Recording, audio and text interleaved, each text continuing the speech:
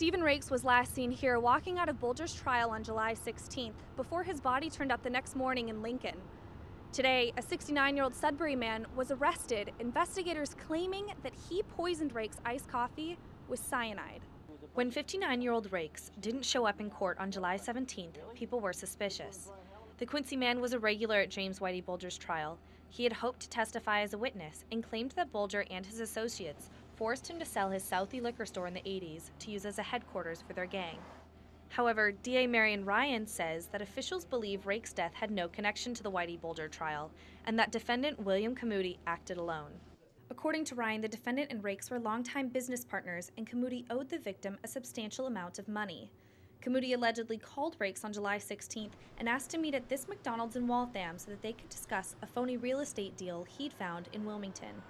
Ryan says the defendant purchased two iced coffees, one of which he allegedly laced with two teaspoons of potassium cyanide.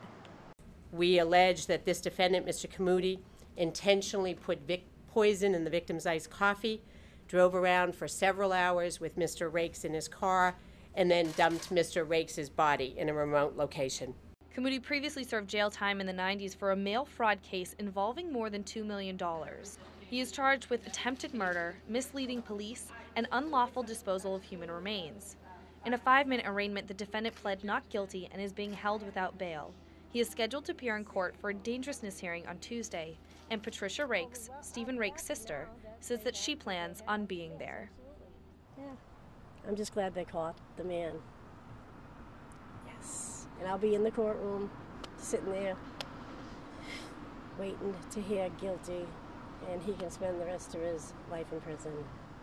The chief medical examiner has not yet ruled on a cause of death for Rakes, but once they have, it's likely that the attempted murder charges will be upgraded to murder charges. In Boston, I'm Marian Daniells, NECN.